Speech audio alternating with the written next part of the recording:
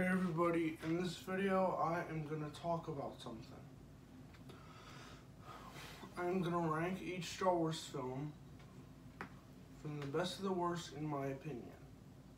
I'm also going to give you my basic opinion on what I think about Star Wars currently.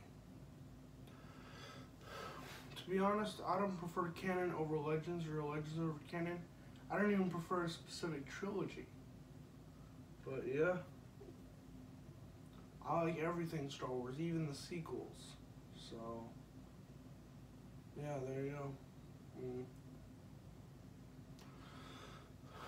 But to make this a little bit longer, I'm gonna mention my favorite character from each uh, trilogy. See, I saw one person, Palpatine, Chief Palpatine, aka Darth Sidious. Cause he carried the entire Skywalker saga on his back. Were not for him, the Skywalker saga would not have happened the way it did. But yeah, there you go. Mm. Anyways, that's it. So I had to tell you. It's been a very short video, but yeah, it's cool. But yeah, that's just my opinion because if one is to solve a mystery, you must understand all of its aspects.